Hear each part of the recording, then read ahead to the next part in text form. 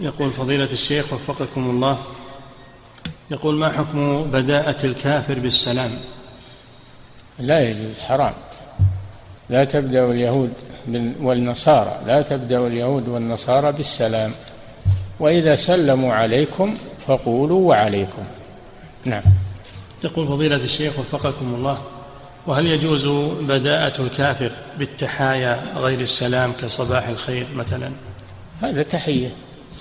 هذا تحية وإن اختلف اللفظ فلا تبدأه. لكن هو إذا بدأك ترد عليه. تقول وعليكم. نعم.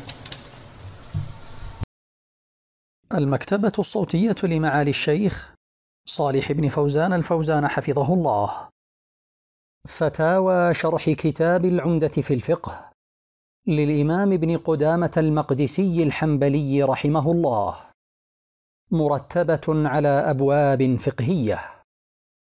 إعداد مشروع كبار العلماء بالكويت أعزها الله بالتوحيد والسنة.